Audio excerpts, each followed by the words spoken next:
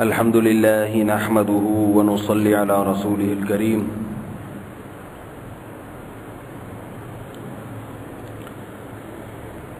داؤد علیہ السلام اور سلیمان علیہ السلاۃ والسلام کا بھی واقعہ آج ہم نے پڑھا ہے آج اٹھارہویں رات ہے اٹھارہویں کل انیسویں، پرسوں بیسویں اور اس کے بعد اکیسویں۔ اب جو درس ہوگا وہ اکیسویں رات سے شروع ہوگا۔ سمجھ رہے ہیں؟ کل بھی نہیں ہوگا اور پرسوں بھی نہیں ہوگا۔ اکیسویں رات کو پھر اعتکاف والے کافی جمع ہو جائیں گے تو پھر سمجھ رہے ہو بات کو؟ نہیں سمجھ رہے ان کے لیے پھر جو ہے نا، کیونکہ پھر آخری اشرے میں مسلسل بیانات ہیں۔ آج بھی موڈ نہیں تھا۔ موڈ نہیں کا مطلب ارادہ نہیں تھا۔ موڈ تو کسی نہ کسی طریقے سے بنا لیتے ہم۔ تو آج میں نے سوچا کہ ناغا، کیونکہ پہلے سے اعلان نہیں کیا تھا کہ درس نہیں ہوگا، تو اس لیے تھوڑا بہت کچھ ہو جائے۔ تو درس قرآن تو اب انشاءاللہ اکیسویں رات سے شروع ہوگا، دو دن کے بعد۔ پھر آخری رات تک انشاءاللہ چلتا رہے گا۔ ابھی فی الحال یہ ہے کہ کوئی مسائل اگر رمضان کے روزے سے متعلق تھوڑے بہت ہو جائیں، زکوٰۃ کے مسائل یا رمضان کے مسائل، دس پندرہ منٹ میں کوشش کرتا ہوں زکوٰۃ کے بنیادی مسائل بیان کر دوں۔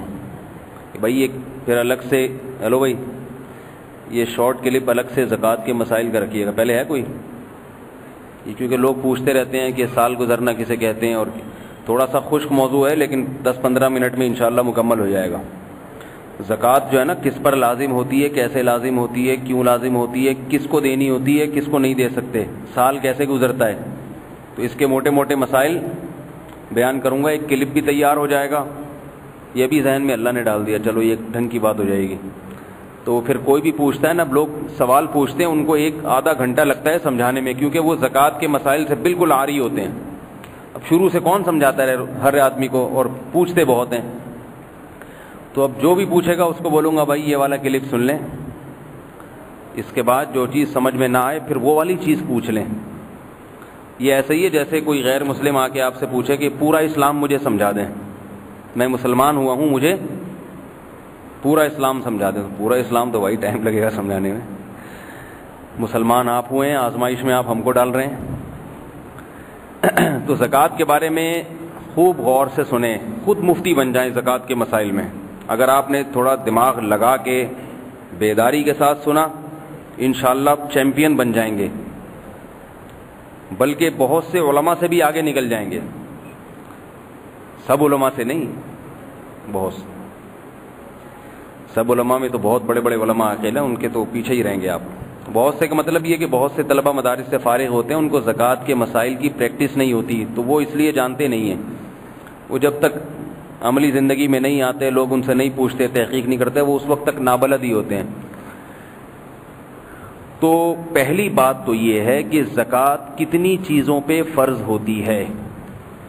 سب سے پہلا سوال، اس کا جواب یہ ہے کہ زکوٰۃ چار چیزوں پہ فرض ہوتی ہے۔ کتنی؟ فور پشتوں میں سلور کہتے ہیں، اردو میں چار، عربی میں اربع۔ انگلیوں کے حساب سے اتنے بنتے ہیں۔ کیونکہ پھر فون کر کے پوچھیں گے کتنی پر فرض ہوتی ہے، مجھ سے پوچھیں گے دوبارہ۔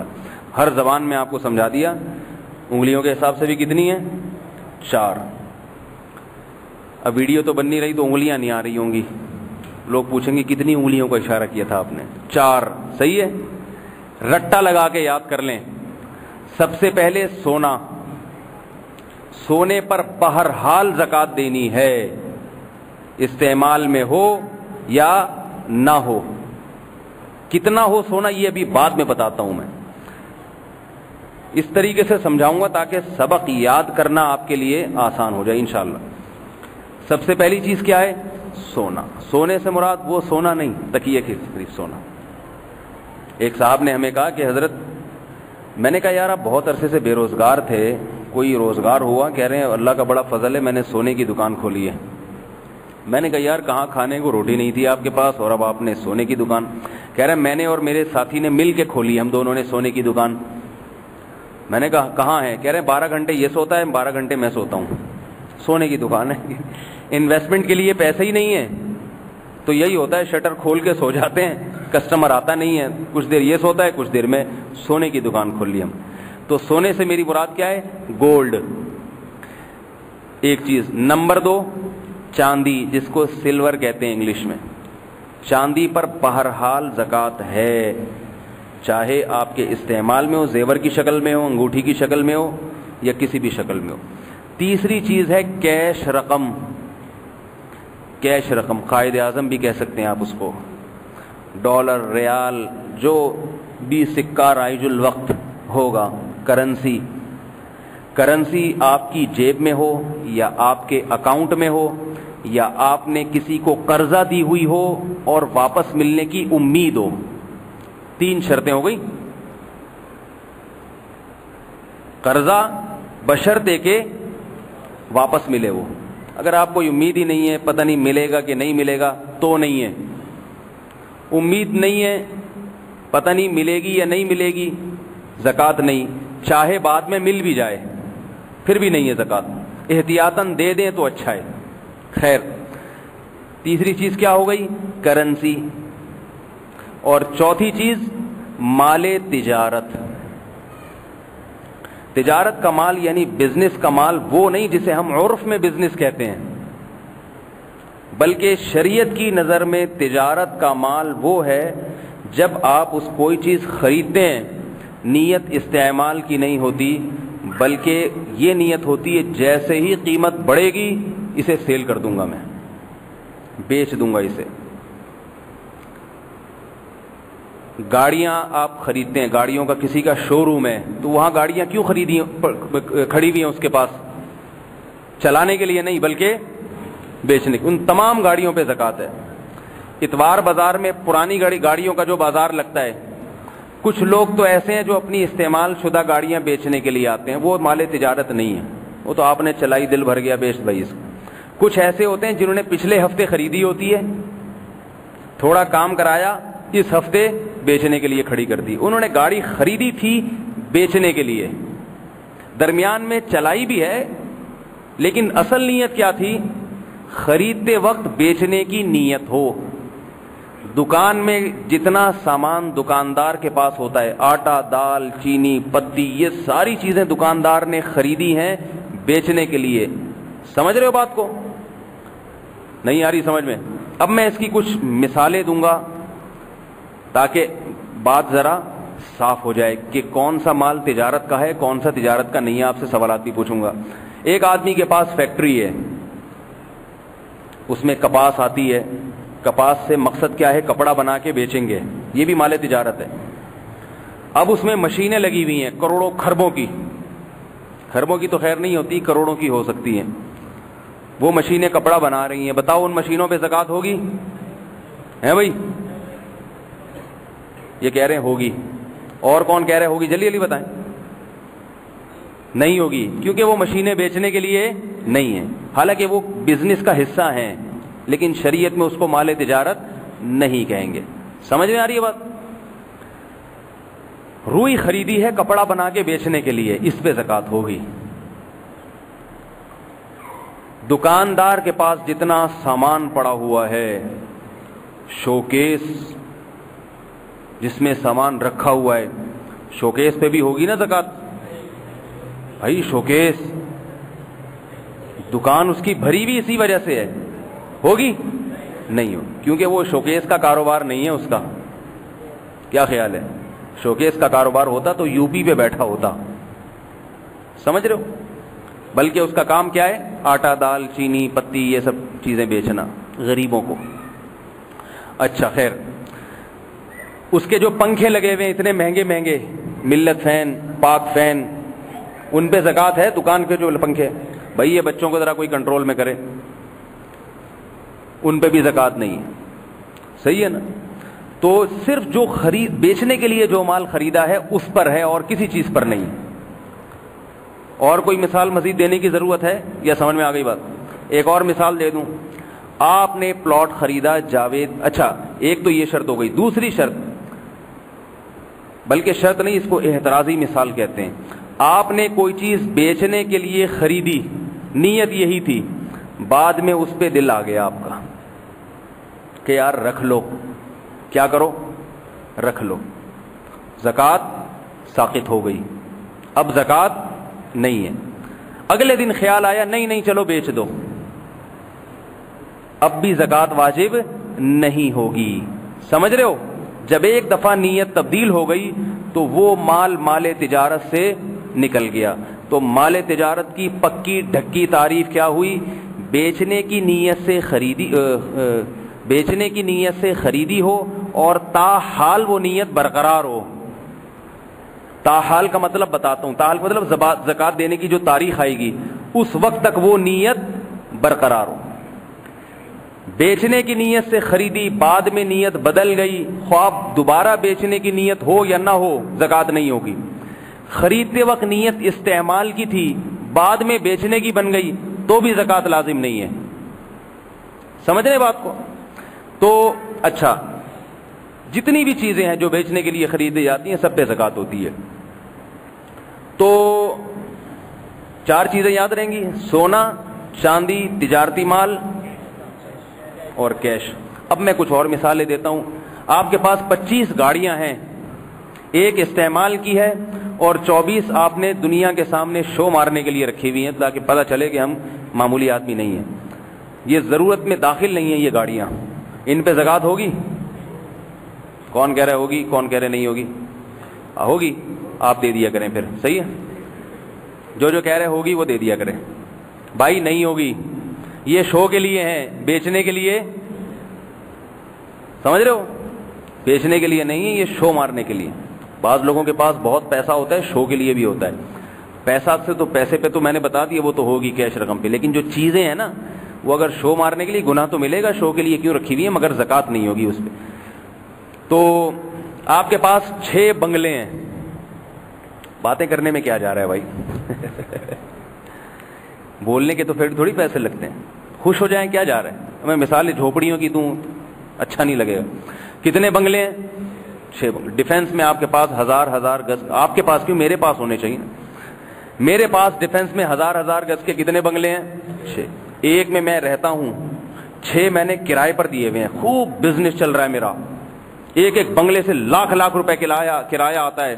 ظاہر ہے کما کے دے رہے ہیں وہ بنگلے۔ مجھے بزنس کاروبار، ان پہ زکات ہوگی کہ نہیں ہوگی؟ کیوں نہیں ہونی چاہیے؟ بھائی ہونی چاہیے بھائی۔ چھ بنگلے کما کے دے رہے ہیں۔ بولو بھائی۔ آپ بتائیں۔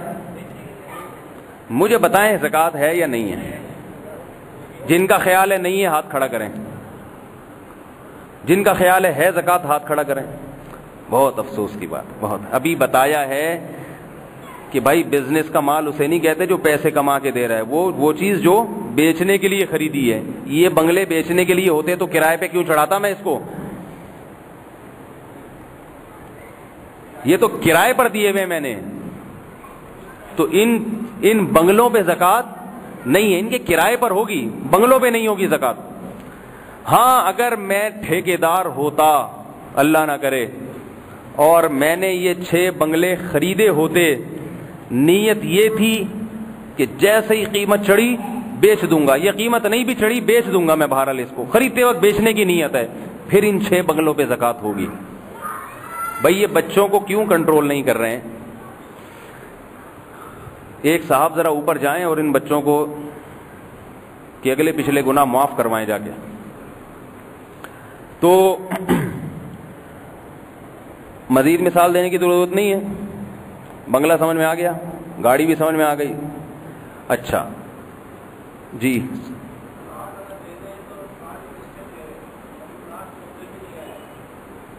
پلاٹ قبضے میں آنا ضروری نہیں ہے۔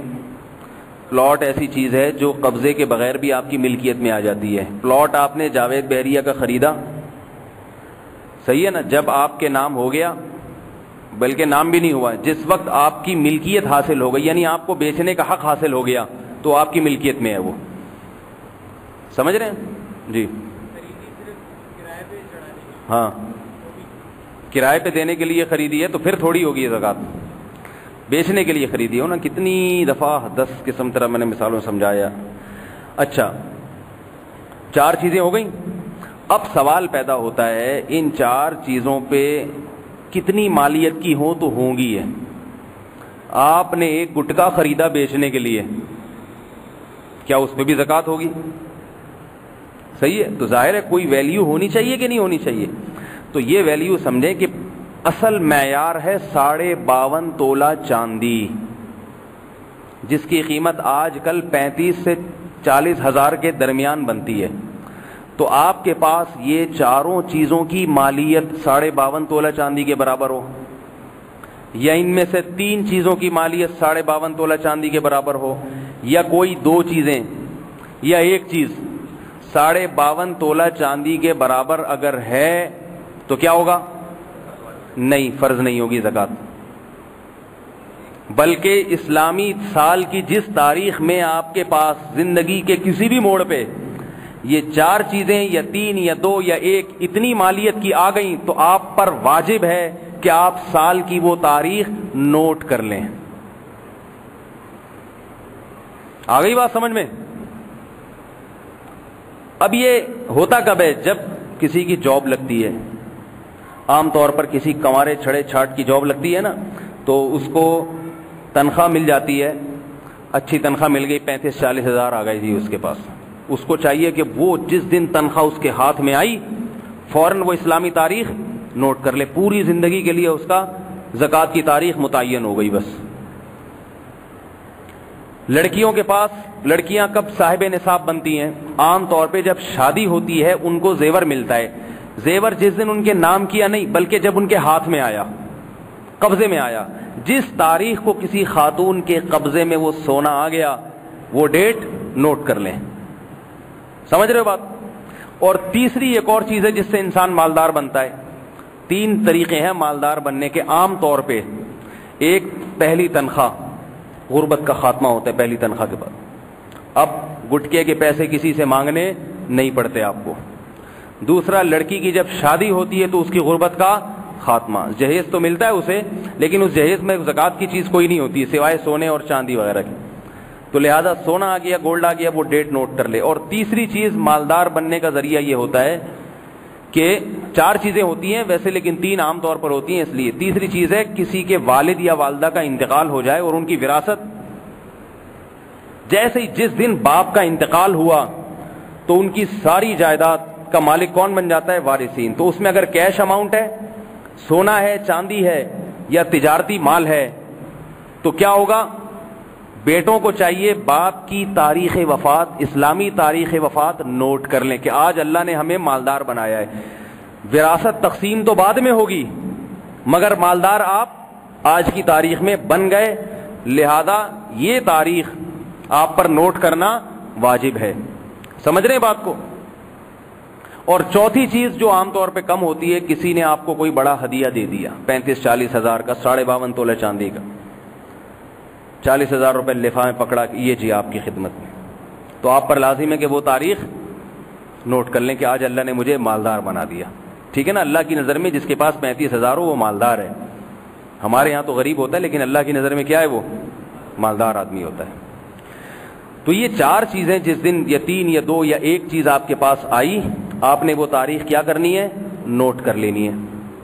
بشرتے کہ آپ کے اوپر قرضہ اتنا نہ ہو کہ اگر قرضہ نکالا جائے تو ساڑھے باون تولے چاندی سے کم کم بن رہی ہو۔ پھر نوٹ کرنے کی ضرورت نہیں ہے۔ آپ پر قرضہ ایک لاکھ ہے اور آپ کو ہدیہ ملا ستر ہزار کا۔ تو لاکھ میں سے ستر تو قرضے میں جائیں گے، بچیں گے کتنے؟ تیس۔ تاریخ نوٹ کرنے کی ضرورت نہیں ہے۔ ٹھیک ہے نا؟ تو قرضہ ہمیشہ مائنس کیا جاتا ہے۔ قرضہ ہمیشہ مائنس۔ پھر جو بچے گا، پھر دیکھا جائے گا کہ اتنا اماؤنٹ بچتا ہے یا نہیں بچتا۔ تو آپ نے کیا کیا؟ وہ ڈیٹ نوٹ کر لی۔ مثال کے طور پر پانچ محرم تھی وہ۔ نوٹ کر لی پانچ محرم۔ جی بھائی، کیا کہہ رہے ہیں؟ جی؟ بھائی، میں ابھی وہ وہاں تک پہنچا نہیں۔ ابھی تو میں صرف بتا رہا ہوں کہ وہ ڈیٹ آپ نے کیا کرنی ہے؟ فکس کر لینی ہے۔ دینی کب ہے؟ کیا کرنا ہے؟ وہ تو ابھی اگلا اسٹیپ ہے نا۔ ابھی تو پہلا مرحلہ۔ پانچ محرم مثال کے طور پر آپ کے پاس اتنے پیسے آ گئے، آپ کو پانچ محرم کو ڈیٹ نوٹ کر لیں۔ اب آپ نہ دیکھیں آپ کے پاس کیا آ رہا ہے، کیا جا رہا ہے۔ یہ چار چیزیں اگر اگلے سال تک آپ کے پاس موجود رہتی ہیں، چاروں نہیں رہتی، تین رہتی ہیں، دو رہتی ہیں، ایک رہتی ہے چاہے ایک ٹیڈی پائی کے بقدر بھی کیوں نہ ہو، ایک پائی بھی کیوں نہ ہو۔ ان چار چیزوں میں سے کوئی نہ کوئی چیز آپ کے پاس تھوڑی سی رہتی ہے۔ چاہے بالکل پوائنٹ ون جو ہے نا فیصد کیوں نہ ہو۔ تو آپ نے کیا کرنا ہے؟ اگلے سال پھر پانچ محرم جب آئے گی، تو پھر آپ نے دیکھنا ہے کہ میرے پاس یہ چار چیزیں کتنی ہیں۔ اگر ساڑھے باون تولہ چاندی کے برابر ان کی مالیت بنتی ہے یا اس سے زیادہ، قرضے کو مائنس کریں مائنس کر کے ساڑھے باون تولہ چاندی یا اس سے زیادہ کی قیمت بنتی ہے، جتنی بنتی ہے اس قیمت کو چالیس سے تقسیم کریں، جو جواب آئے زکات کی رقم الگ کر دیں۔ الگ بے شک نہ کریں، حساب لکھ لیں کہ میرے ذمے اس سال اتنی زکات فرض ہے۔ اماؤنٹ آ جائے گا۔ سمجھ رہے ہو بات کو؟ نہیں آئی سمجھ میں۔ پانچ محرم کو آپ نے دیکھا کہ بھائی نہیں، اتنی اماؤنٹ نہیں ہے۔ پچھلے سال تو تھی، مگر اب پینتیس ہزار سے ڈاؤن ہو گیا ہوں۔ اس سال آپ پر زکات فرض نہیں ہے۔ ٹھیک اس پانچ محرم کو دیکھا جائے گا۔ چار محرم کو آپ کے پاس کیا تھا؟ چھ کو کیا ہوگا؟ یہ حساب کتاب میں شامل نہیں ہوگا۔ پانچ تاریخ سے پہلے چار تاریخ کو ایک کروڑ روپے آ گئے آپ کے پاس۔ سورج غروب ہونے سے پہلے۔ اور سورج غروب ہونے کے بعد تک وہ پیسے رہے تو پانچ تاریخ کو آپ کے پاس ایک کروڑ روپے آئے ہیں۔ بلکہ سورج غروب ہونے سے پہلے نہیں، ٹھیک پانچ تاریخ کو آ گئے۔ ان ایک کروڑ پہ بھی زکات دینی پڑے گی آپ کو۔ سمجھ رہے بات کو؟ اور کیا ہے کہ اگر ایک دن پہلے ایک کروڑ تھے آپ کے اکاؤنٹ میں، سورج غروب ہونے سے پہلے پہلے وہ ایک کروڑ آپ نے کسی کو صدقہ کر دیے یا چوری ہو گئے، ان پہ زکات نہیں دینی پڑے گی۔ تو پانچ تاریخ کو یعنی چار تاریخ کے غروب آفتاب سے لے کر پانچ تاریخ کے غروب آفتاب تک جو اماؤنٹ آپ کے پاس ہوگا، اس اماؤنٹ پہ آپ نے زکات دینی ہے، اس سے ایک دن پہلے کیا ہے، ایک دن بعد میں کیا ہے، یہ نہیں ہے۔ بات آ رہی ہے سمجھ میں؟ زکات دینی بھی نہیں ہے زکات کا حساب کرنا ہے آپ نے کہ بھائی میرے ذمے اس سال اتنی زکات بنتی ہے۔ وہ پھر آپ فوراً دے دیں، ایک دو دن بعد دے دیں، جب نکال کے رکھ لیں، غریب آئے گا تو دے دوں گا میں۔ ٹھیک ہے نا؟ وہ ایک الگ بات ہے۔ اب یہ تاریخ آپ کی زندگی بھر کے لیے فکس۔ پانچ محرم۔ یہ تاریخ ایک صورت میں تبدیل ہوگی۔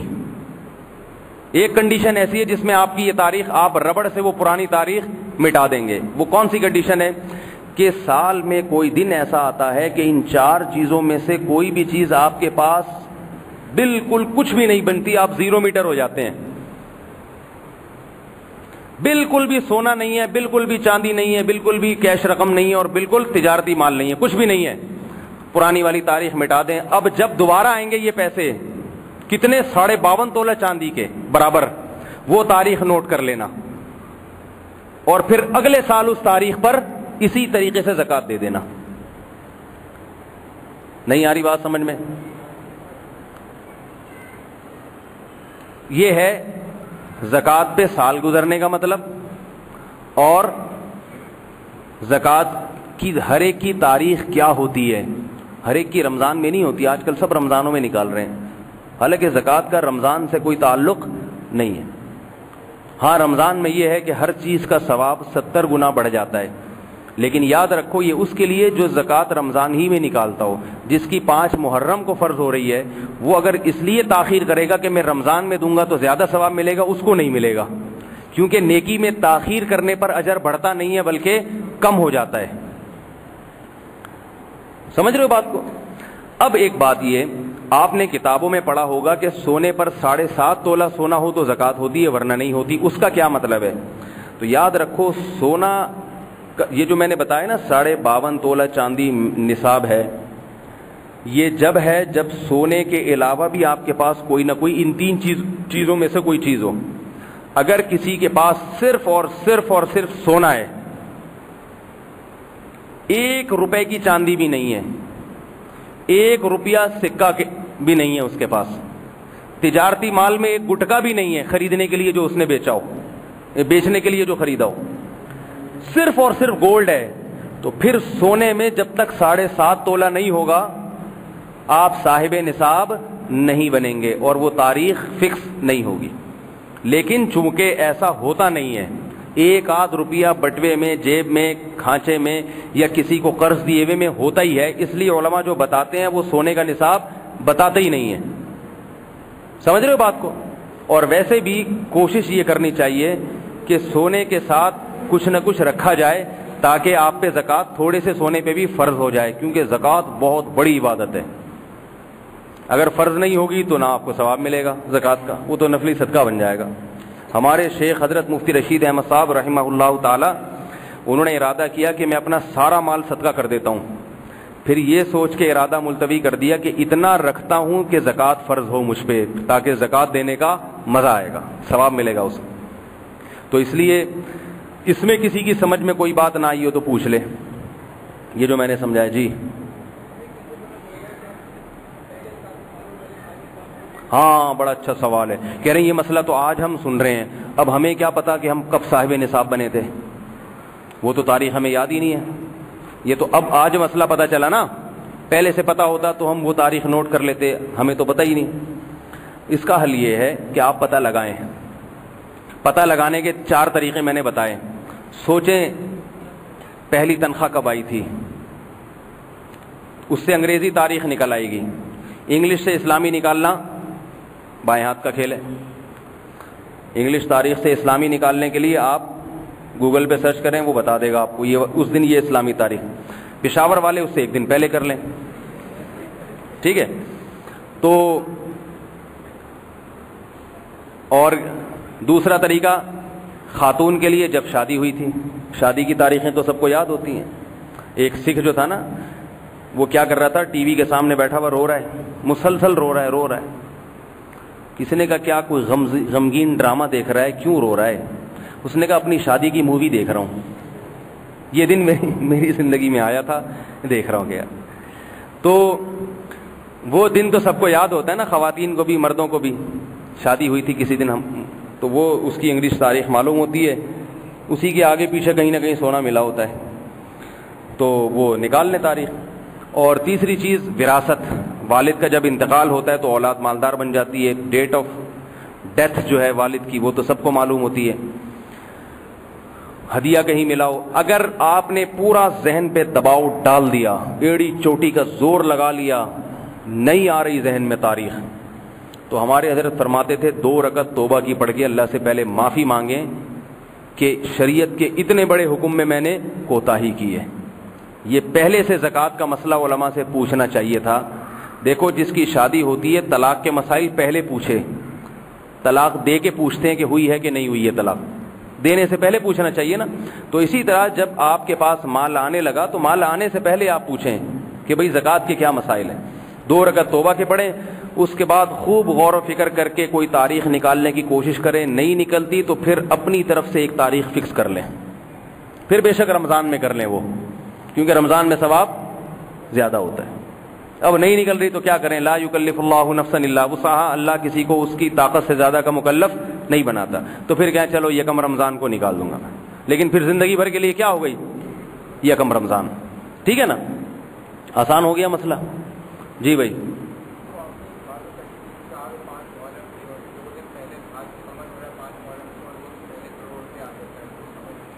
میں یہ کہہ رہا ہوں کہ جب سال گزرے گا نا، آپ کا پانچ محرم کو آپ صاحب نصاب بنے تھے، ساڑھے باون تولہ چاندی کے بقدر آپ کے پاس چیزیں آئی تھیں، یہ چار چیزیں، اس کے علاوہ نہیں۔ تو اگلے سال پانچ محرم کو آپ حساب کریں گے۔ پانچ محرم سے پہلے کیا ہے؟ پانچ محرم کے بعد کیا ہے؟ یہ نہیں دیکھا جائے گا۔ مثال کے طور پر پانچ محرم سے پہلے چار محرم کو آپ کے پاس ایک کروڑ روپے آ گئے اور وہ پانچ محرم تک باقی رہ گئے۔ تو ایک کروڑ پہ بھی زکات دینی پڑے گی، حالانکہ اس پہ سال نہیں گزرا ہے۔ لیکن چونکہ آپ صاحب نصاب بن چکے تھے صاحب نصاب بنے ہوئے سال گزر گیا آپ کو، اس لیے زکات دینی پڑے گی آپ۔ اور اگر پہلے سے ایک کروڑ تھے، چار محرم کو آپ نے ایک کروڑ خرچ کر دیے، یا چوری ہو گئے، تو پانچ محرم کو ان ایک کروڑ کی زکات نہیں ہوگی، حالانکہ ان پہ سال گزر چکا ہے۔ لیکن چونکہ ایک دن باقی تھا ابھی، لہذا اس کی زکات ثابت ہو گئی۔ جی بھائی۔ ہاں۔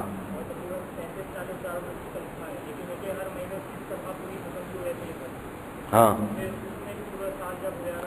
ختم ہو گئی تو ہو گئی۔ میں نے بتایا پانچ تاریخ کو دیکھیں گے کیا ہے۔ اس سے پہلے کیا تھا؟ نہیں تھا، ختم۔ جاب لگی، اس کے بعد وہ بس تاریخ نوٹ کر لی نا، اب درمیان میں آ رہا ہے، نہیں آ رہا، کیا آ رہا ہے؟ یہ تھوڑی دیکھا جائے گا۔ یہ تو دماغ خراب ہو جاتا ہے پورے سال دیکھنے میں کتنا پیسہ رہا۔ تو بس وہ پانچ محرم کو دیکھے گا۔ اگر اس کو تنخواہ پانچ محرم کو ملی ہے، پوری تنخواہ پہ زکات ہے۔ چار کو ملی اور کھا گیا؟ نہیں ہے۔ مدزل ہلا لیا، جو ملا، کھا لیا۔ جیسے ہی پیسے ملے، کھا لیے اس نے۔ جی بھائی۔ ہاں ڈیٹ یاد آ گئی اس کو۔ تو حساب اندازہ لگائے۔ ڈیٹ یاد آئی پانچ سال پہلے ہی کہ بھائی میں تو چار محرم کو صاحب نصاب بنا تھا، میں لیکن میں تو رمضان میں حساب کرتا ہوں۔ تو اندازہ لگائے، تھوڑا دماغ پہ دباؤ ڈالے، بینک کی جو اسٹیٹمنٹ نکالے، اس میں دیکھے بھائی اتنے کتنے اماؤنٹ تھے اس تاریخ کو میرے پاس۔ تھوڑا دماغ لگائے کیونکہ زکوٰۃ ایک رکن ہے۔ اس میں کمی بیشی، اگر کمی ہو گئی ہے تو بیشی کر لے، بیشی ہو گئی ہے تو وہ غریبی میں ہو گیا، صدقہ ہو گیا وہ۔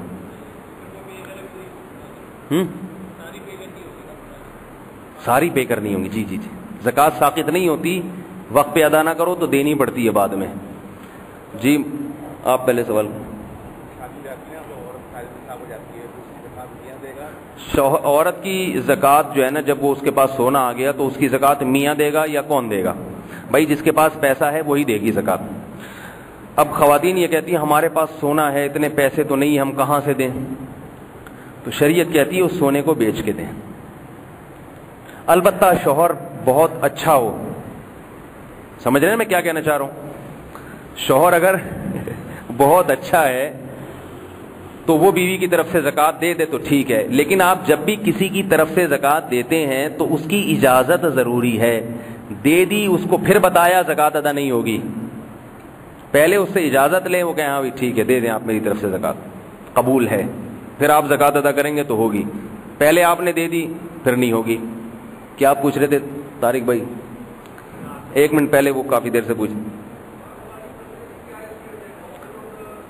ہاں بڑا اچھا سوال ہے، بڑا اچھا سوال۔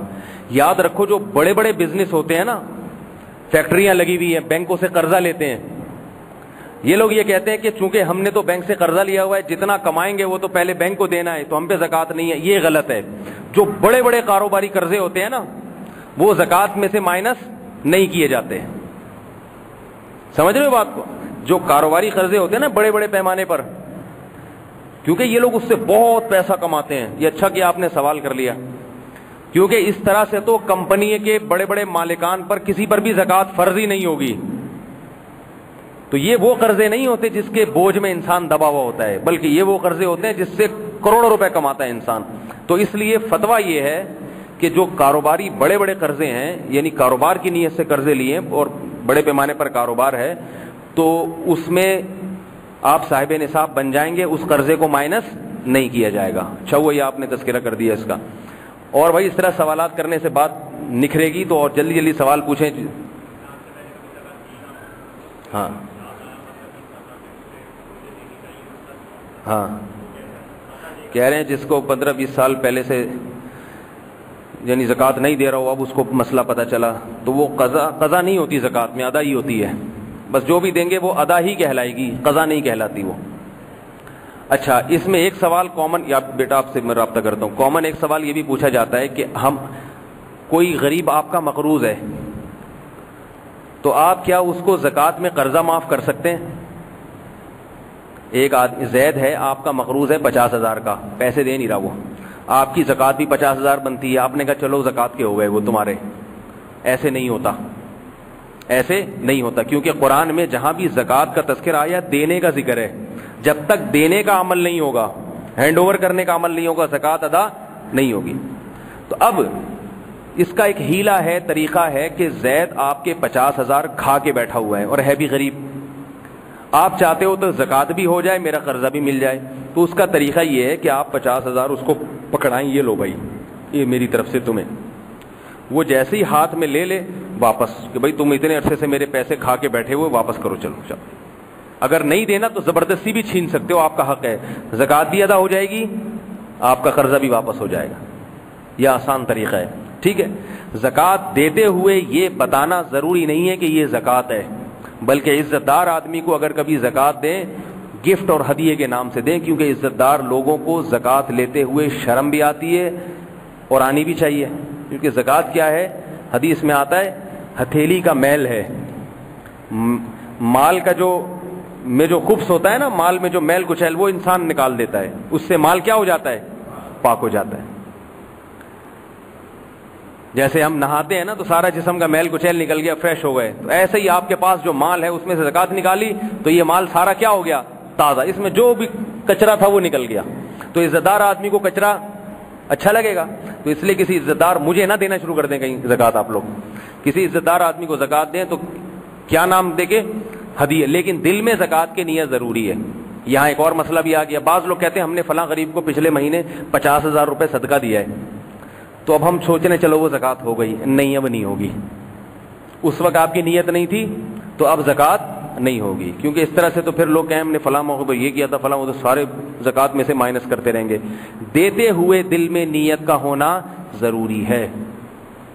اور کوئی سوال پوچھنا ہو تو پوچھ لو بھائی۔ جی؟ ہاں بڑا اچھا سوال ہے۔ اگر کوئی ایڈوانس میں زکات نکالنا چاہے تو ایڈوانس میں زکات ایڈوانس کے دو مطلب ہیں۔ نمبر ایک، ابھی تک آپ صاحب نصاب ہی نہیں بنے۔ ہیں یعنی ساڑھے باون تولہ چاندی کے بقدر آپ کے پاس مال آیا ہی نہیں اور آپ نے تاریخ نوٹ بھی نہیں کی ہے۔ لیکن آپ چاہ رہے ہو کہ میں پہلے سے ہی زکات دے دوں تاکہ اگر کبھی مال آئے تو پہلے دی دیوی ہو۔ یہ والی ایڈوانس زکات آپ کی ادا نہیں ہوگی۔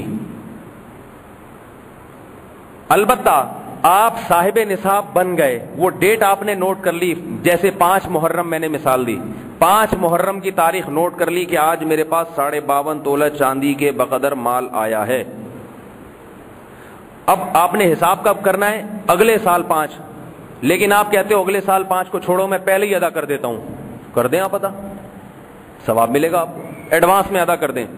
جیسے اگلے سال کی یعنی درمیان میں جب رمضان آیا نا، تو آپ نے کہا رمضان میں ثواب زیادہ ہوتا ہے۔ تو محرم آنے سے پہلے میں رمضان میں ہی نکال دیتا ہوں۔ بہت اچھی بات ہے۔ لیکن جتنی نکالیں اس کو نوٹ کر لیں، اتنے پیسے۔ پھر جب پانچ محرم آئے گی تو پھر آپ حساب کریں کہ کتنا مال ہے۔ اس کے حساب سے دیکھیں بنتی کتنی ہے۔ کم نکالی ہے تو جو کمی ہے وہ پانچ محرم کو پورا کر دیں۔ وہ کمی پوری کر دیں پانچ محرم کو۔ اور اگر جو اضافی نکالا تو وہ غریب کے گھر جا کے واپس لے لیں۔ کیا خیال ہے؟ کہ بھائی، غلطی سے زیادہ نکل گئی، یہ بنتی کم تھی۔ تو وہ کیا ہو گئی؟ غریبی وہ نفلی صدقہ ہو گیا آپ کا۔ صحیح ہے نا؟ واپس لینے کی اجازت نہیں ہے۔ وہ نفلی صدقہ ہو گیا آپ کا۔ اس جیسے پہلے نکالی جا سکتی ہے، کسی عذر سے تاخیر بھی کی جا سکتی ہے۔ پانچ محرم کو آپ نے حساب کیا بھائی آپ کی پچاس ہزار زکات بنتی ہے۔ ایک مثال دے رہا ہوں۔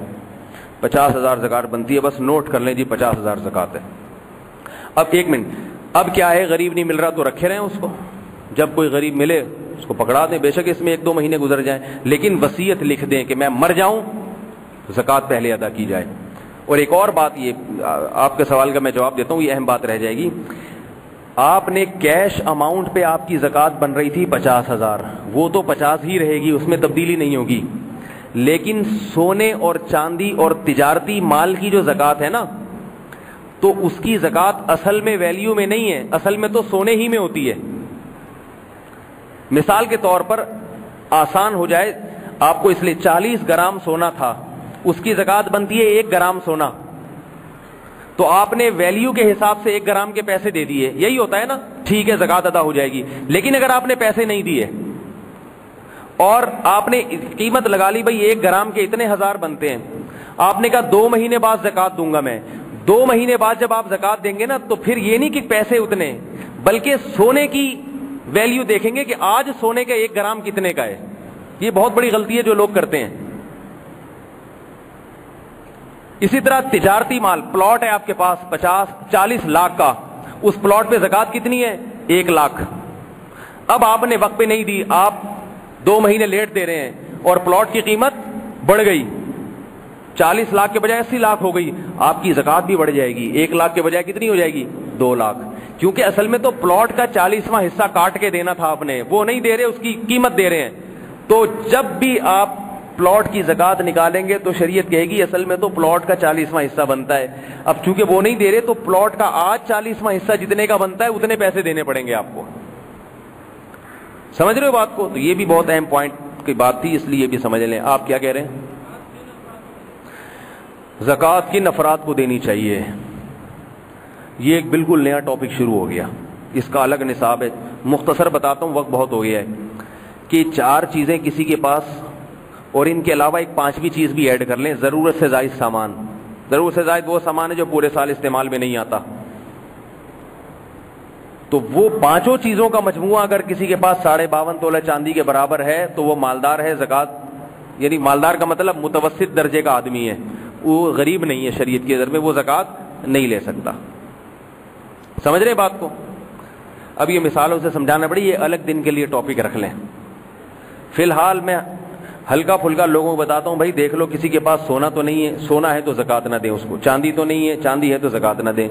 لم سم ایک ہلکا پھلکا، باقی پیچیدہ مسائل تو پھر کسی وقت بتائیں گے۔ کسی کے پاس اضافی پراپرٹی تو نہیں ہے۔ تین، چار چیزیں دیکھا کریں، اضافی پراپرٹی بلکہ پانچ چیزیں دیکھا کریں۔ سونا تو نہیں ہے، چاندی نہ ہو۔ اضافی پراپرٹی کا مطلب ایسی پراپرٹی جو استعمال میں نہ ہو۔ نہ کرائے پر ہے، نہ دکان استعمال میں ہے ویسے ہی ایک پلاٹ پڑا ہوا ہے خالی۔ ایسے آدمی پہ بھی زکات دینا جائز نہیں ہے۔ اور چوتھی چیز، تجارتی مال لاؤ اور پانچویں چیز، ضرورت سے زیادہ سامان۔ یہ ایک نئی چیز ہے اس میں۔ ضرورت سے زیادہ سامان یہ کہ اس کے پاس ایک موٹر سائیکل اپنے استعمال کی ایک پورے سال گھر میں کھڑی رہتی ہے، کسی کام کی نہیں ہے۔ یا یہ کہ ضرورت اس کی ایک سے پوری ہو رہی ہے، خام خامے دو رکھی ہوئی ہیں۔ تو وہ دوسری بائک کی قیمت ساڑھے باون تولہ کے برابر ہے اگر زکات نہیں لے سکتا وہ۔ گھر میں شوکیس میں برتن رکھے ہوئے ہیں شو کے لیے۔ پورے سال وہ برتن استعمال میں نہیں آتے، ان کی ویلیو بھی لگائی جائے گی۔ ٹھیک ہے نا؟ تو وہ تھوڑا پیچیدہ نصاب ہے۔ بس آپ غریب تو آج کل دیکھنے سے پتہ چل جاتا ہے۔ سونا نہ ہو، چاندی نہ ہو اور یہ دو چار چیزیں نہ ہو تو بس اس کو زکات دے دیا کریں۔ اور کسی کو زکات دی غریب سمجھ کے بعد میں پتہ چلا غریب نہیں ہے تو بھی زکات ادا ہو جاتی ہے۔ لیکن شروع میں تحقیق کرنا ضروری ہے۔ سمجھ رہے ہو؟ جی بھائی۔ جلدی سے پوچھو۔ سیدوں کو زکات نہیں دے سکتے۔ نفلی صدقہ دینا پڑے گا ان کو۔ دین کی خدمت کے لیے زکوٰۃ ہوتی ہے، مگر اصل میں تو زکوٰۃ غریبوں کو مل ہوتی ہے۔ تو دین کی خدمت بھی ہو جائے اور غریب کو زکوٰۃ بھی مل جائے تو اس کے طریقے ہیں۔ مدرسے کے طلبہ کو دے دیں۔ مدارس کے طلبہ مدارس میں زکوٰۃ کا فائدہ یہ ہوتا ہے کہ طلبہ پہ وہ زکوٰۃ جب خرچ ہوتی ہے تو طلبہ کو پھر کمانے کے لیے کہیں جانا نہیں پڑتا تو وہ تسلی کے ساتھ علم دین میں لگے رہتے ہیں تو ان زکوٰۃ بھی ہو گئی اور دین کی خدمت بھی ہو گئی۔ جہاد پہ بھی زکوٰۃ لگتی ہے، لیکن اس کا بھی ایک طریقہ ہے، کسی ایسی تنظیموں کو، ایسے اداروں کو دیں جن کے بارے میں سو فیصد اطمینان ہو۔ یا ننانوے فیصد یا غالب گمان ہو کم از کم کہ یہ زکوٰۃ کو صحیح جگہ استعمال کریں گے۔ یعنی مالک بنائیں گے کسی مجاہد کو۔ کسی مجاہد کو اسلحہ خرید کے دے دیا یا کسی مجاہد کو دواؤں کے پیسے دے دیے۔ یعنی تملیغ ضروری ہے، تملیغ۔ اس کی ملکیت میں آنا ضروری ہے۔ زکوٰۃ کے پیسوں سے کسی کو کچھ کھلانے سے زکوٰۃ ادا نہیں ہوتی۔ آپ نے زکوٰۃ کے پیسوں سے بریانی خریدی، غریبوں کو کھلا دی، زکوٰۃ نہیں ادا ہوگی۔ بریانی خرید کے غریب کو کہا، یہ تمہاری ہے، کھاؤ یا بیچو، جو مرضی کرو، پھر ادا ہو جائے گی۔ تملیغ کا فرق سمجھ میں آیا؟ ایک ہوتا ہے اباہت کسی کے لیے کوئی چیز حلال کر دینا۔ ہے میری، مگر آپ بھی کھا سکتے ہیں، آئیے۔ نہیں ہوگی زکات ادا۔ آ رہی ہے بات سمجھ میں؟ ہو اس کی۔ وہ جس کو چائے کھلائے، خود کھائے جس کو چائے کھلائے، پھر زکات ادا ہو جائے گی۔ اپنی چیز کسی غریب کو کھلائیں گے، نہیں ہوگی۔ غریب کی ملکیت میں دے دیں، وہ جس کو چائے کھلائے چائے آپ ہی کو کھلا دے وہ۔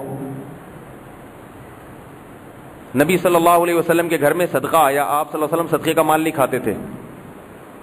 تو حضرت بریرہ کے پاس صدقہ آیا۔ آپ صلی اللہ علیہ وسلم نے فرمایا، کچھ کھانے کو ہے؟ فرمایا رسول اللہ، صدقے کا مال ہے۔ فرمایا، تمہارے لیے صدقہ ہے، ہمارے لیے ہدیہ ہے۔ مطلب یہ کہ تمہیں جب ہو گیا تو صدقہ تو مکمل، اب تم جس کو چاہو دو۔ اب تو تم تم ہمیں دو گے تو وہ تو ہدیہ ہوگا نا ہمارے لیے۔ سمجھ میں آ رہی ہے بات؟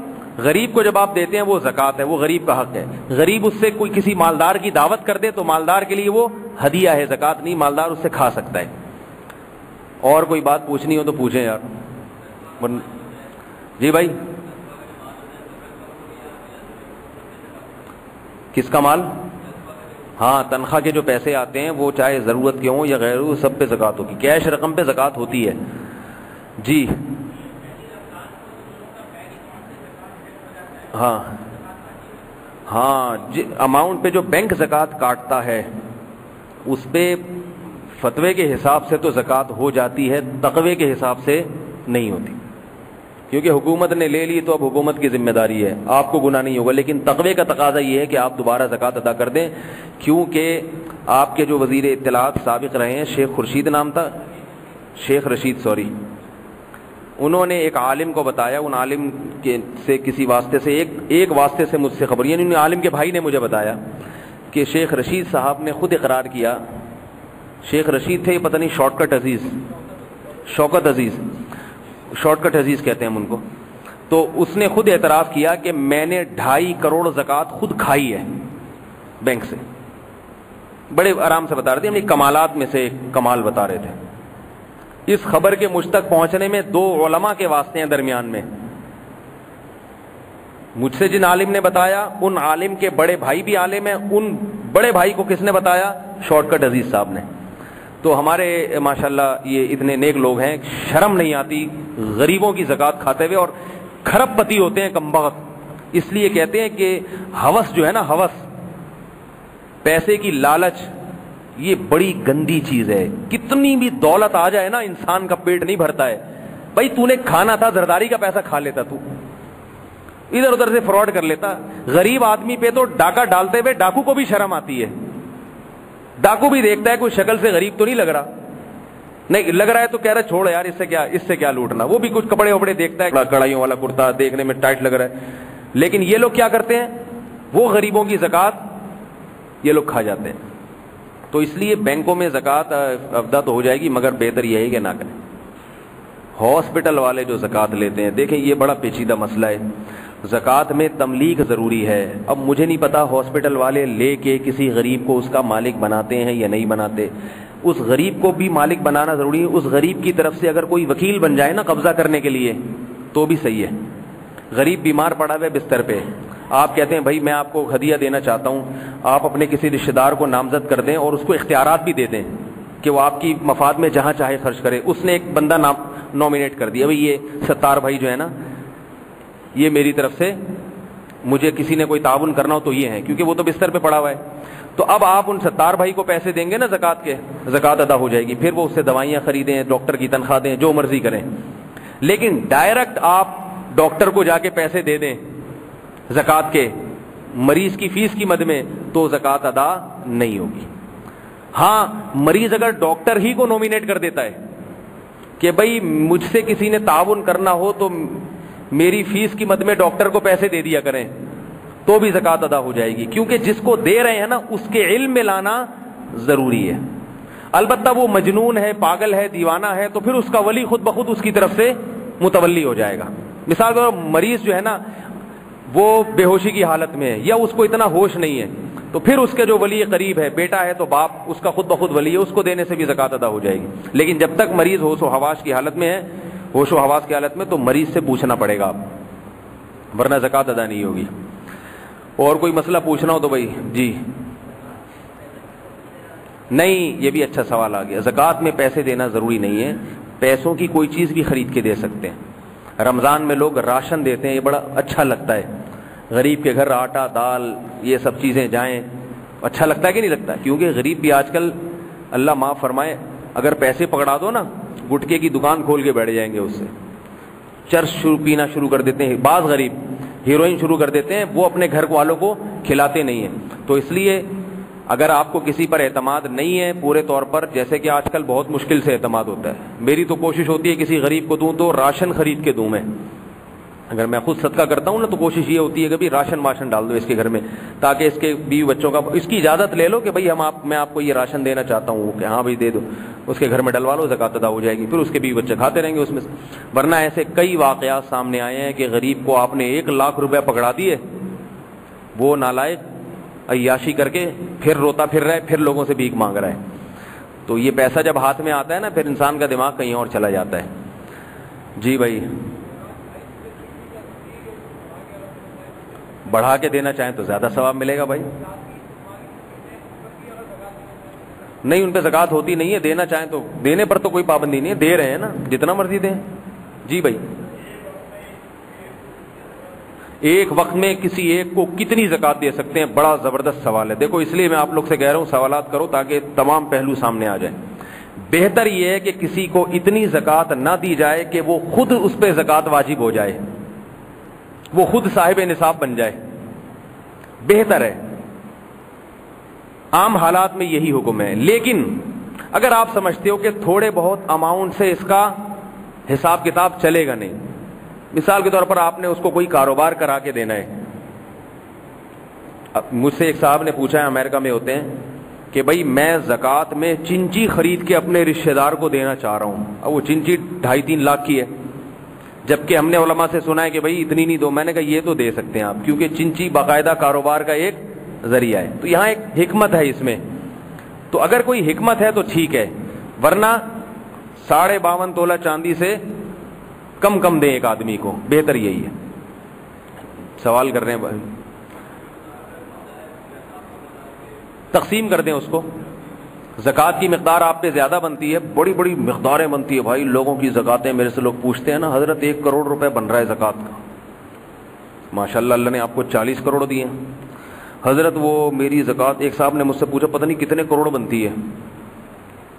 وہ پریشان اس پر تھے۔ کہ یار اتنے کروڑ تو زکات میں ہی نکل جائیں گے، بچے گا کیا میرے پاس؟ مجھ سے پوچھ رہے ہیں میں نے کہا، آپ کے اتنے کروڑ اگر زکات میں بن رہے ہیں تو ہیں کتنے کروڑ آپ کے پاس؟ اب دیکھو، کنجوس آدمی ایک کروڑ پہ ایک لاکھ دیتے ہوئے نا سوچتے ایک لاکھ، سوری، چالیس لاکھ پہ ایک لاکھ دیتے ہوئے جان نکلتی ہے۔ جان نکل رہی ہے اس کی۔ چالیس لاکھ پہ ایک لاکھ ہی ہوتا ہے نا، چالیسواں حصہ ہاں ایک لاکھ۔ تو جان نکل رہی ہے اس کی۔ لیکن وہ دے نہیں، یہ نہیں دیکھ رہا کہ میرے پاس بچ بھی تو انتالیس لاکھ بچ رہے ہیں۔ تو ڈھائی فیصد ہوتی ہے زکات اور بھائی کوئی سوال پوچھنا ہو، آپ جتنے سوال پوچھیں گے نا جو انٹرنیٹ پہ کیونکہ انٹرنیٹ پہ جن لوگوں کو سوال ہوں گے، وہ بےچارے بیٹھے ہوئے ان کے منہ سے نکل رہے ہیں سوالات۔ لیکن وہ دانت پیسنے اپنے، کاش یہ بھی کوئی سوال پوچھ لے اور ہمیں جواب مل جائے۔ وہ بےچارے اس چکر میں، اور جو بھی یہ آڈیو سنیں گے، ان کے بھی دماغ میں سوالات ہوں گے، تو وہ بد دعائیں دیں گے کہ کسی نالائق نے یہ کیوں نہیں پوچھا؟ اس لیے جتنا جتنے سوال آ رہے ہیں، پوچھ لیں۔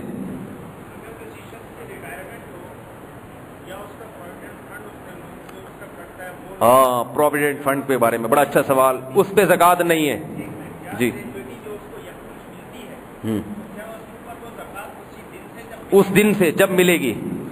پروویڈنٹ فنڈ ہو گیا یا جو گریجویٹی جو جب اس کے ہاتھ میں آئے گی نا، اس دن سے وہ صاحب نصاب بنے گی۔ تنخواہ سے جو کٹ رہا ہے وہ ابھی تک ہاتھ میں نہیں آئے تو یہ اس کا مالک نہیں ہے۔ جی ڈھائی فیصد اور چالیسواں حصہ برابر ہوتا ہے۔ اس پہ ایک چھوٹا سا چٹکلا سنا دوں آپ کو۔ میں ایک دفعہ مجھے ہمارے ایک استاذ نے کہا کہ بھائی، آپ ایسا کرو، آدھا کلو دودھ لے آؤ۔ نہیں، مجھے خود چاہیے تھا۔ مجھے نا یہ دکان میں چیزوں کے ریٹ نہیں پتا ہوتے۔ کیونکہ میں اپنے دماغ کو فارغ رکھنے کی کوشش کرتا ہوں۔ کیونکہ مجھے پتا ہے کہ اگر چیز مہنگی بھی ہوئی ہے نا یا سستی ہے یا مہنگی ہے، دینے تو بہرحال اتنے ہی پیسے دودھ جتنے کا بھی ہو، آدھا کلو، ایک کلو، ڈیڑھ کلو، میری وجہ سے وہ مولوی صاحب کو دیکھ کے یہ نہیں کہے گا آپ کے لیے پرانے والے ریٹ ہی ہیں۔ تو وہ تو ایک ہی۔ تو میں پوچھتا ہی نہیں کہ دودھ کتنے روپے کلو چل رہا ہے، دہی کتنے درد سر ہے۔ آلو، ٹماٹر، بھائی، لے لیے۔ بتا بھائی پیسے کتنے، چل بھائی، نکل یہاں سے۔ تو میں ایک دفعہ اسی طرح گیا دکان پہ، میں نے کہا، یار، ادھر جو ہے نا، آپ ایسا کریں، چالیس روپے کا ایک تھیلی میں دودھ دے دیں اور دوسری میں آدھا کلو دے دیں۔ سچا واقعہ بتا رہا ہوں۔ ایک شاپر میں چالیس روپے کا، دوسرے میں آدھا کلو۔ اس نے دے دیا، بھائی دونوں شاپر میں نے لیے۔ میں نے کہا، اس میں چالیس والا کون سا ہے اور آدھا کلو کون سا ہے؟ اس نے کہا، یہ چالیس والا ہے جو کہ آدھا کلو ہے اور یہ آدھا کلو ہے جو چالیس کا ہے۔ میں نے کہا، مجھے ہنسی بھی آئی۔ کہہ رہا، مولوی صاحب، چالیس کلو کا آدھا کلو ہی آتا ہے۔ تو یہ الگ الگ نہیں ہوتا۔ میں نے کہا، چلو، السلام علیکم، نکلو بھائی۔ تو اسی طرح مجھ سے واٹس ایپ پہ کسی نے پوچھا کہ حضرت مجھے یہ بتا دیں کہ ایک اماؤنٹ لکھ کے دی، حضرت، اس کا چالیسواں حصہ کتنا بنتا ہے یہ بھی بتا دیں اور اس پہ ڈھائی فیصد کتنا بنے گا وہ بھی بتا دیں۔ تو میں نے مجھے اپنا دودھ والا واقعہ یاد آ گیا۔ میں نے کہا ڈھائی فیصد اتنا ہوگا جو کہ چالیسواں ہے اور چالیسواں اتنا ہوگا جو کہ ڈھائی فیصد ٹھیک ہے۔ جی۔ جی۔ اچھا سوال ہے، بھائی زکات میں ترجیح کس کو دینی چاہیے؟ اگر تھوڑا سا اماؤنٹ ہے آپ کے پاس۔ کہ وہ تقسیم کر کے دیں گے تو کسی کا بھی فائدہ نہیں ہے۔ تھوڑا سا اماؤنٹ ہے تو سب سے پہلے اپنے قریبی رشتے دار، جن میں بھائی بہن، زکوٰۃ صرف اپنے باپ، دادا، نانا، نانی اور اولادوں کو نہیں دی جا سکتی۔ اس کے علاوہ سب کو دی جا سکتی ہے۔ بہو اپنے ساس کو دے سکتی ہے، سبحان اللہ کہیں۔ اور ساس اپنی بہو کو دے سکتی ہے۔ مزہ آیا کہ نہیں آیا سن کے؟ اچھا۔ دشمنی کا خاتمہ ہو جائے گا۔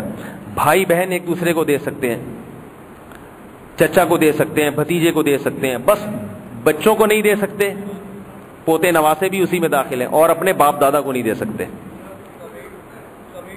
اچھا یہ پہلے سوال کا جواب مکمل ہو جائے۔ تو یہ تو جب ہے جب تھوڑا سا اماؤنٹ ہو۔ اگر زیادہ اماؤنٹ ہے، تو پہلے تھوڑا سا رشتے داروں کو ضرور دیں۔ اس کے بعد پھر بہت ساری جگہیں ہیں۔ دینی مدارس ہیں سب سے زیادہ اہمیت تو دینی مدارس کی ہے۔ کیونکہ علم زندہ نہیں رہے گا اگر لوگ مدارس کو زکاتے نہ دیں۔ کیونکہ ان مدارس پر جو فنڈنگ ہے نا، یہ مسلمان ہی کرتے ہیں۔ یہ گورنمنٹ کوئی پیسہ نہیں دیتی۔ تو اس لیے اس کی حفاظت کرنا ہماری ذمہ داری ہے۔ اور بھی کوئی اگر غریب کو دینا جہاد میں دینا چاہیں تو بھی، لیکن جہاد میں دینا بڑا مسئلہ ہے صحیح جگہ پہنچے۔ یہ بڑا مسئلہ ہے۔ اور جہاد ہو کہاں رہا ہے، یہ بھی ایک بڑا مسئلہ ہے۔ جہاد کے نام پہ تقریب کاری پہ خرچ ہو رہے ہوتے ہیں بعض دفعہ۔ تو اس لیے یہ بڑا خطرناک موضوع ہے، اس میں بہت سوچ سمجھ کے حساب کتاب ہونا چاہیے۔ آگے کون کوئی سوال بھائی؟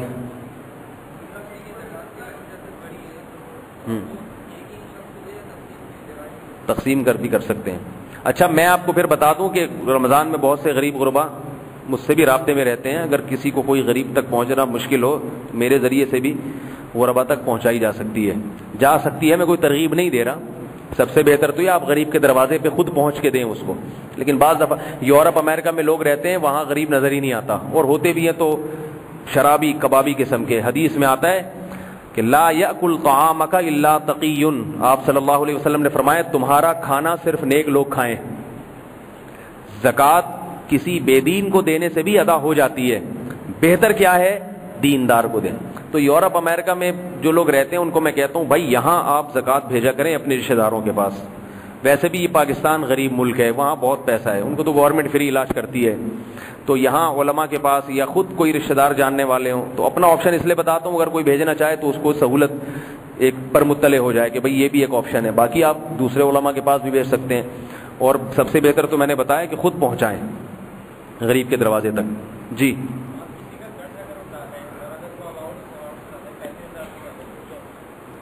بھائی اب جتنی جتنی زکات دیں گے اتنا ہی اترے گا۔ قرض پچاس ہزار ہے اور تو پھر زکات نہیں ہے۔ جب آپ پر پچاس ہزار قرضہ ہے اور پچاس ہزار ہی اماؤنٹ ہے۔ ہاں۔ ہاں۔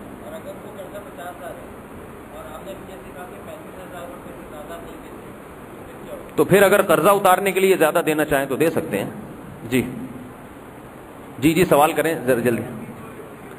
میاں بیوی ایک دوسرے کو نہیں دے سکتے۔ اچھا ہوا، یاد آ گیا۔ ورنہ گھر کا سارا حساب کتاب یہ میں نے تم کو دی تم نے مجھے۔ دونوں، میکڈونلڈ میں برگر کھا رہے ہیں زکات کے پیسوں سے۔ یہ مجھے ذہن سے نکل گیا، باپ دادا کو بھی نہیں دے سکتے اور میاں بیوی بھی ایک دوسرے کو نہیں دے سکتے۔ ورنہ بڑے مزے نہیں آ جاتے۔ اس لیے نہیں دے سکتے۔ جی۔ جی؟ زور سے بولیں بھائی۔ سونا؟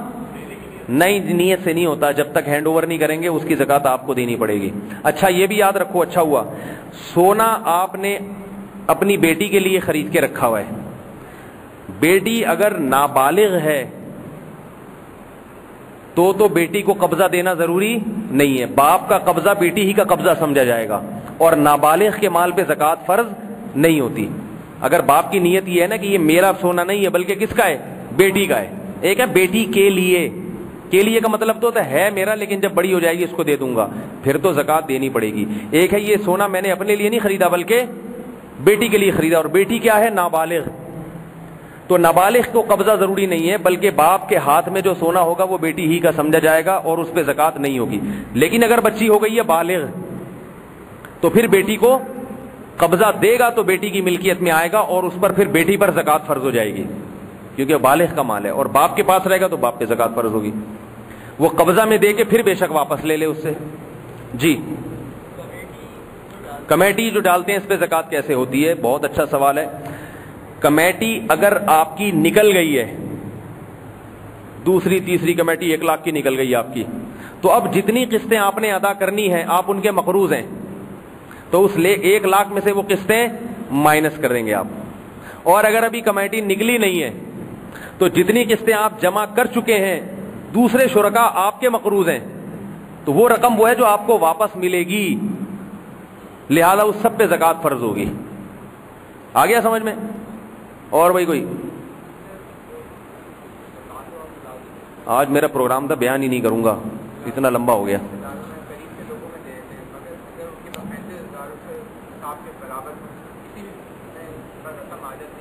ہاں۔ نہیں دی جا سکتی۔ اگر کسی کے پاس ملازم کے پاس بھی پینتیس ہزار، چالیس ہزار روپے ہیں اور قرضہ نہ ہو۔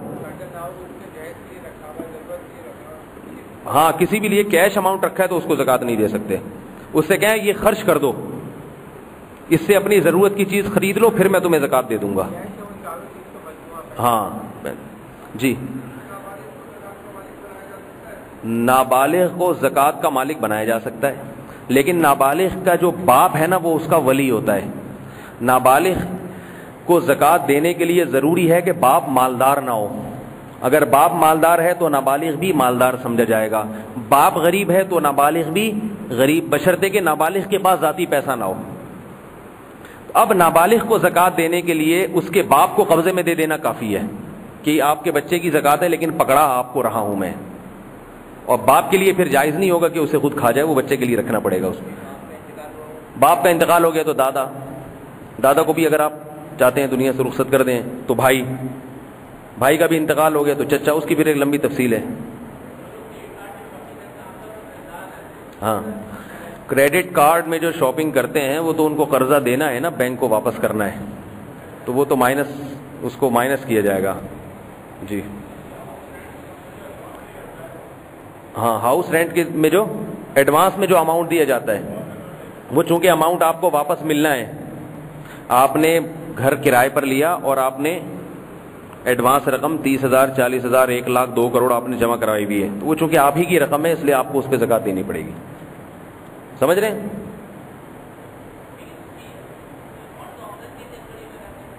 کسٹڈی میں کسی کے بھی ہو اکاؤنٹ میں آپ کے پیسے رکھے ہوتے ہیں نا بینک میں، تو کسٹڈی کس کی ہوتی ہے؟ بینک کی۔ مگر یہ کہ زکات آپ کو دینی پڑے گی کیونکہ آپ کے جب چاہیں آپ مکان خالی کریں وہ لے لیں۔ شیئرز کی جو خرید و فروخت ہے شیئرز جتنی مالیت کے رکھے ہوئے ہیں، بیچنے کے لیے آپ نے ان سب پہ زکات دینی پڑے گی آپ کو۔ اور بھائی کوئی سوال پوچھ لو۔ کیا بول رہا بھائی؟ ہاں۔ ٹی وی چینل زکات مانگ رہے ہیں، اللہ کی پناہ۔ جی؟ دینی، دین، دینی چینل جو زکات مانگ رہے ہیں، تو مجھے نہیں پتا وہ زکات کہاں خرچ کرتے ہیں۔ بھائی سوچ سمجھ کے دیا کرو، جس پر اعتماد ہو۔ آج کل بہت براڈ مائنڈیڈ لوگ پیدا ہو رہے ہیں کہ زکات ہے، جہاں چاہو لگا دو۔ بکری کو چارہ کھلا دو اس سے بھی زکات ادا ہو جاتی ہے ان کے یہاں۔ اتنا براڈ مائنڈیڈ نہیں ہونا چاہیے انسان کو۔ جی۔ کیا بولا بھائی؟ ہیلے کے ذریعے سے زکات ثابت کرنا۔ ہیلا کے ذریعے کا مطلب ہوتا ہے آپ پانچ محرم کو زکات ہونے والی ہے چار کو آپ کے پاس ایک کروڑ ہے آپ نے اپنی بیوی کو دے دی ہے۔ تم مالک ہو۔ اب بیوی پر تو سال بیوی آٹھ صاحب نصاب ہو گئی تو اگلے سال ہوگا نا۔ پانچ محرم آگے آپ پہ زکات نہیں۔ اگلے سال کیا ہوا جب چار محرم کو بیوی کی زکات بننے والی تھی، اس نے تین محرم کو آپ کو دے دی ہے۔ تو یہ ہیلا اگر کسی یعنی یہ ہیلا جو ہے نا، ظاہر ہے یہ گھٹیا حرکت ہے نا، یہ تو کوئی اچھی اچھا کام نہیں کر رہے آپ۔ دوسرا، اس میں دو نمبر ہی یہ ہوتی ہے کہ آپ جب بیوی کو دے رہے ہوتے ہیں نا نیت دینے کی نہیں ہوتی۔ کیونکہ جب کوئی چیز کسی کو دی جاتی ہے تو پھر اس کو کلی اختیارات ہوتے ہیں۔ تو یہ دینا دینا کہلائے گا ہی نہیں۔ اگر واقعتاً دے دی، پھر تو واقعی زکات ساخت ہوگی۔ لیکن آپ اگر اتنے جگر والے ہوتے کہ ایک کروڑ بیوی کو گفٹ دے رہے ہو تو ایک کروڑ کے بجائے اس کی چھوٹی سی زکات نہ دے دیتے آپ۔ آپ کی دینے کی نیت نہیں ہوتی ہے نورا کشتی ہوتی ہے۔ اس سے وہ بیوی کی ملکیت میں بھی داخل نہیں ہوتی۔ یہی وجہ ہے کہ اگر آپ نے بیوی کو ایک کروڑ پکڑائے، فوراً کھولا لے کے بھاگ جائے گی وہ۔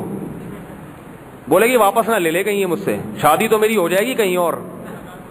فوراً پتلی گلی سے نکلے گی۔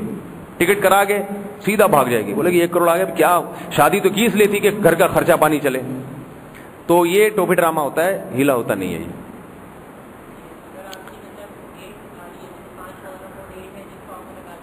ہاں۔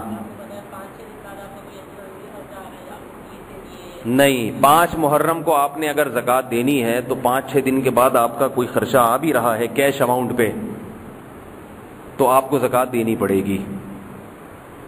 اور بھائی کوئی سوال پوچھ لو۔ جی وہ دور سے بیٹھے ہوئے ہیں۔ جلدی۔ جی؟ تبلیغ میں کوئی جا رہا ہے سال کے لیے تو اس کو زکوٰۃ کے پیسے دینا۔ اگر وہ غریب ہے، زکوٰۃ کے پیسے لگتے ہیں تو دے دیں اس کو، پھر چاہے وہ تبلیغ میں جائے، جو بھی کرے وہ۔ زکوٰۃ کے پیسے دے کے کسی کو گن پوائنٹ پہ پابند نہیں بنا سکتے کہ یہ کرنا، یہ نہیں کرنا۔ مشورہ دے سکتے ہیں کہ بھائی میں نے آپ کو اس لیے دیے تاکہ آپ تبلیغ میں اطمینان سے وقت لگائیں۔ پھر اس کی مرضی، اور یہ بھی ہے کہ کھا جائے، وہ بولے نہیں جا رہا میں۔ میں نے تو اس لیے نام لکھوایا تھا کہ پیسے ویسے اکٹھے ہو جائیں۔ اب جب ہو گئے تو مجھے کیا ضرورت ہے؟ جی۔ کہیں کہیں زبردستی زکوٰۃ لیتے ہیں، جہاں جہاں زبردستی زکوٰۃ لیتے ہیں، اگر وہ مستحق ہیں اور آپ نے دل سے نیت کر لی زکوٰۃ دینے کی تو زکوٰۃ ادا ہو جائے گی۔ لیکن ایسے نالائقوں کو نہیں دیا کریں۔ جی۔ ہیں؟ ہاں سفر پہ ہیں، زکوٰۃ واجب ہوگی، کیونکہ آج کل جو بھی سفر پہ ہوتا ہے نا، تو وہ اپنے مال سے جب چاہے استفادہ کر سکتا ہے۔ بینکوں کا ایسا نظام بن چکا ہے کہ آپ کہیں بھی ہیں، کہیں سے بھی پیسے منگوا سکتے ہیں آرام سے زکوٰۃ لازم ہوگی۔ جی بھائی جی۔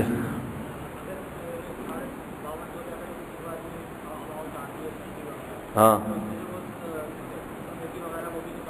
ہاں۔ جی۔ وہ تو میں نے کمیٹی کا مسئلہ بتا دیا نا بھائی۔ جب پانچ محرم کی تاریخ آئے گی نا آپ کی، اس میں دیکھیں کمیٹی کے کتنے پیسے آپ دے چکے ہیں۔ جتنے پیسے آپ دے چکے ہیں، ان سب پہ زکوٰۃ ہے، کیونکہ وہ سب آپ کو واپس ملیں گے۔ جتنے دیے ہیں۔ اور اگر کمیٹی پہلے نکل گئی ہے، نکل چکی ہے، تو جتنے پیسے رکھے ہوئے ہیں، اس میں سے جتنی قسطیں مزید دینی ہیں، وہ مائنس کر لیں۔ ہاں پھر جو صحیح ہے۔ زکوٰۃ خود دینے کے بجائے کسی اور کو پکڑا دیں، یار، یہ میری زکوٰۃ کہیں اور دے دو۔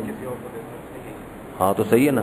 تبھی تو میں کہہ رہا ہوں، مجھے کوئی میرے ذریعے سے دینا چاہیے کسی اور عالم کے ذریعے سے، تو ٹھیک ہے۔ اور بھائی، پوچھ۔ تھوڑا سا خون باقی رہ گیا، اب جلدی جلدی پی لیں۔ ہاں۔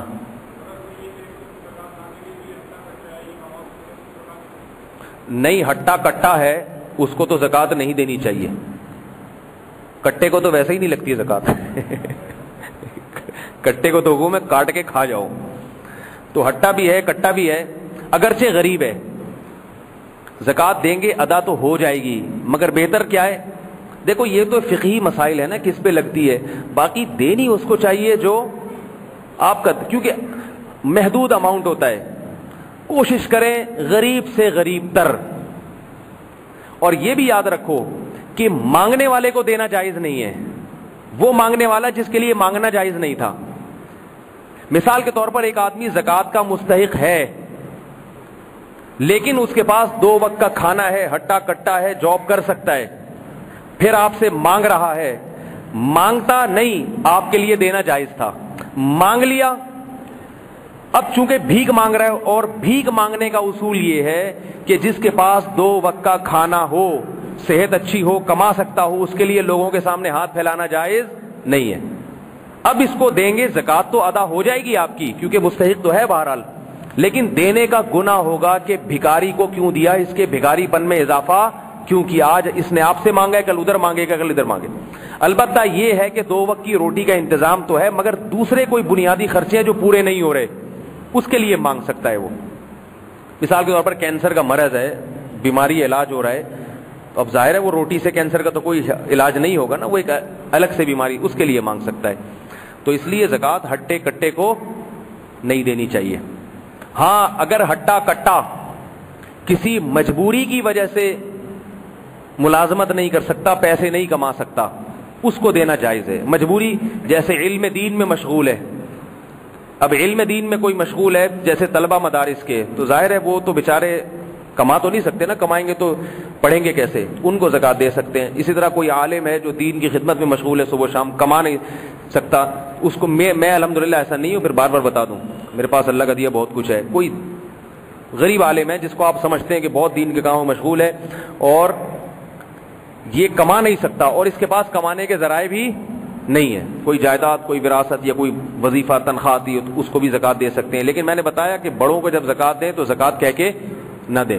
بلکہ اچھا علماء کی تنخواہوں میں زکات نہیں دی جا سکتی مسجد کے امام کی تنخواہ میں یا قاری کی تنخواہ میں، کیونکہ وہ تو ویسے ہی واجب ہے آپ کے اوپر۔ تنخواہ کے علاوہ کسی قاری کو زکات دینا چاہیں یا امام کو زکات دینا چاہیں یا فطرہ دینا چاہیں تو دے سکتے ہیں۔ مسجد کی تعمیر میں زکات نہیں لگ سکتی۔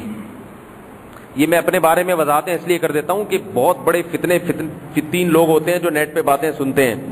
کیونکہ آپ تو آپ تو بدگمان نہیں ہوگے نا، لیکن کہاں سے کہاں لوگ نکال لیتے ہیں۔ اس لیے بار بار وضاحت کرنا پڑتی ہے۔ جی۔ کیا کر سکتا ہے؟ تو دے دیں اپنے بھائیوں کو۔ ابھی تو بتایا بھائیوں کو زکات دے سکتے ہیں، بہنوں کو بھی دے سکتے ہیں، اگر غریب ہیں۔ زمیندار کیا؟ زمینداروں کو کہاں سے زکات دے سکتے ہیں؟ ان کے پاس اتنی بڑی زمین ہے۔ یہ کیا گھما رہے ہیں آپ؟ کیا؟ زمینوں کی زکات کا سسٹم بالکل الگ ہے۔ وہ اوشر ہے اوشر وہ میں نے بتایا نہیں، کیونکہ یہاں جو لوگ بیٹھے ہیں وہ زمیندار نہیں ہیں۔ قرآن نے کہا وہ آ تو حق کا ہوں یوم حسادی زمین سے جب بھی پیداوار اگے تو اس کا حق ادا کرو۔ وہ حق کیا ہے؟ دسواں حصہ۔ وہ غریبوں کا حق ہے، وہ بالکل اس کے الگ مسائل ہیں۔ اس پہ سال گزرنا یا وہ نہیں ہوتا، اس کا حساب بالکل الگ۔ کیسا پیارا مذہب ہے اسلام دیکھو، غریب کو اللہ نے اکیلا نہیں چھوڑا۔ پیداوار نکلے گی اس میں سے دسواں حصہ غریب کا۔ سونا ہے اس میں سے چالیسواں حصہ غریب کا۔ چاندی ہے اس میں سے، دکان ہے اس میں سے چالیسواں حصہ غریب کا۔ تجارت ہے جاوید، وہ بحریہ ٹاؤن کا پلاٹ ہے، اس میں سے چالیسواں حصہ کس کا ہے؟ غریب کا ہے۔ تو اس لیے اسلام جو ہے نا یہ بڑا زبردست مذہب ہے اور اس سے غریبوں میں اور مالداروں میں تعلق بھی قائم ہوتا ہے۔ اور اس میں یہ جو کہتا نا علماء کے ذریعے زکوٰۃ دینے میں ایک حکمت یہ بھی ہے کہ علماء کے ہاتھ سے جب زکوٰۃ جاتی ہے نا غریب کے پاس تو اس غریب کا ان علماء سے رشتہ قوی ہو جاتا ہے۔ پھر وہ علماء کی باتیں سننا ان کی نصیحتوں پر عمل کرنا اس کے لیے آسان ہو جاتا ہے۔ مہمار ٹرسٹ جو جامع رشید کے زیر جامع رشید کے ایک عالم کے زیر نگرانی چل رہا تھا، وہ لوگ بقرعید کے دنوں میں گوشت تقسیم کراتے تھے۔ تو انہوں نے مجھ سے کہا کہ آپ بھی آئیں اور یہ جو ہے نا، گوشت کا ہم ایک کوٹا دے رہے ہیں۔ یہ گھر گھر سروے کرنا پڑے گا۔ مجھے اس علاقے کا ذمہ دار بنایا تھا انہوں نے۔ گھر گھر سروے کرنا پڑے گا تو یہ دیکھیں جا کے کون کون غریب ہیں تو اس کے گھر میں اتنا اتنا گوشت ان کو رسیدیں دیں۔ تو انہوں نے کہا، مجھے انہوں نے یہ کہا کہ ہر علاقے میں مسجد کے امام کو آپ نے اس علاقے کے لیے تقسیم کا نمائندہ بنانا ہے۔ میں نے کہا، یہ کیا بات ہے بھائی؟ مسجد کے امام کے ہاتھوں تقسیم ہو؟ کیوں بھائی؟ کسی اور کے ہاتھوں؟ کیوں انہوں نے کہا، ہم چاہتے ہیں کہ امام اور عوام کا ربط پیدا ہو جائے۔ جب امام کے ہاتھ سے گوشت جائے گا نا، تو لوگ کہیں گے، آج تک تو مولویوں کو چندہ لیتے ہوئے تو سنا تھا، دیتے ہوئے پہلی دفعہ دیکھ رہے ہیں، مولوی صاحب گھر آ کے پیسے دے کے جا رہے ہیں۔ تو علماء کو کے ذریعے زکوٰۃ تقسیم کرنے میں فائدہ یہ ہوتا ہے کہ جب علماء کے ہاتھ سے کسی کے غریب کے پاس پیسے جاتے ہیں، تو اگرچہ وہ علماء بتاتے ہیں، بھائی یہ میرے نہیں ہے کسی نے دیے ہیں۔ لیکن بہرحال یہ ذریعہ تو یہ بن رہا ہے نا، تو ان کے دل میں علماء سے نفرت بھی کم ہوتی ہے۔ ورنہ لوگ اپنی بٹوے خالی کر کے مسجدوں میں آتے ہیں کہ یار مولوی صاحب کسی بھی وقت کچھ بھی مانگ سکتے ہیں۔ تو وہ دیکھیں گے، بھائی ماشاء اللہ یہ عوام کا خیال بھی کرتے ہیں، ان کو تقسیم بھی کرتے ہیں۔ تو عوام کا ربط علماء سے قائم ہوتا ہے، اس سے دین کو ترقی ہوتی ہے۔ کافی ہو گیا میرے خون، دو تین قطرے میرے خون کے باقی بچے ہیں۔